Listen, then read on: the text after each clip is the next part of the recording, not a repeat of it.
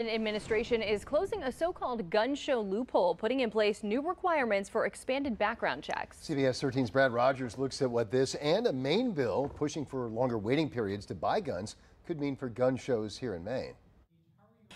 The Biden administration rule to expand background checks comes from the bipartisan Safe Communities Act Congress passed two years ago. If you're in this business of buying and reselling guns, well, then you need to get a license and you need to be running background checks.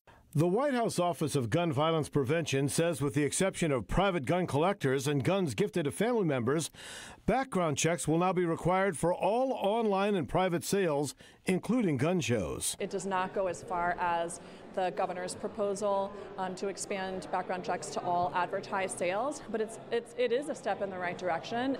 It's hard to get around how easy it is to sidestep Uh, uh, those background check requirements. Right now, sellers at gun shows in Maine are already required to perform background checks, so this new rule would have little or no impact on them. So really what they're banning is somebody coming to the show without anyone's knowledge and trying to sell a gun in, say, in the parking lot. David Trahan, director of the Sportsmen's Alliance of Maine, says a state bill not yet voted on is a much greater threat to gun shows. I tell you what would have more of an impact.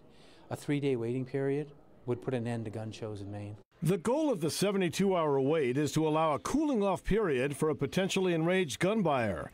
But Republican Senator Eric Brakey says that waiting period would also apply to a woman being targeted or stalked. Are we really going to tell her that she has to wait 72 hours in order to be able to have the means to defend herself? Women, when victims of domestic violence are in danger, um, they are five times more likely to be shot if there is a gun in the home, no matter who it belongs to.